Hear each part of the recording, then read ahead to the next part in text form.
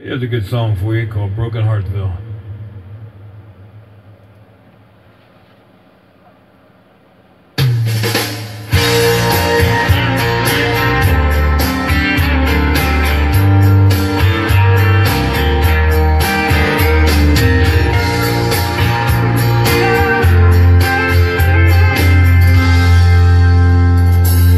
He wore that cowboy hat to cover up his